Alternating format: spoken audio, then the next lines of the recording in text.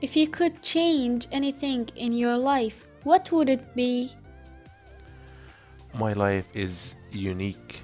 I wouldn't change anything in my life. My life is perfect. What is the most difficult change you've ever had to make? It would be the field of work.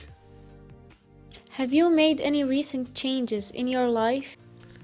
Yes, I moved to a different city. Do you like to rearrange your room or living room?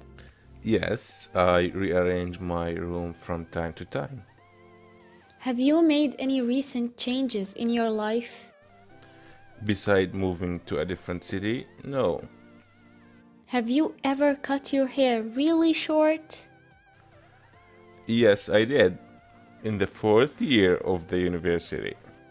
Do you think change is important? Oh, sure, yes. Change is very important to me. If you don't change, you will be very bored. Do you rearrange the furniture in your house often?